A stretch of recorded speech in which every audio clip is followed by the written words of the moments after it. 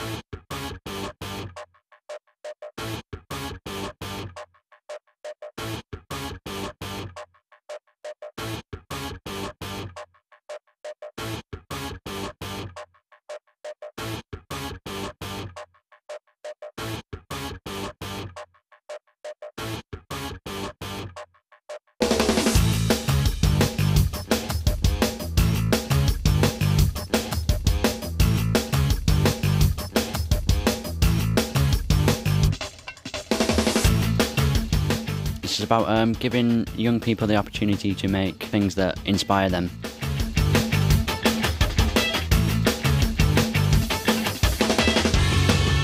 There was a young man in there that said he wants to actually become a director, but probably didn't know which way to turn.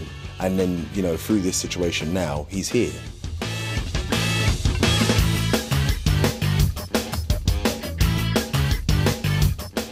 Think that's that's truly amazing. It's just I, I was so shocked when I actually got the phone call. It was just out of the blue.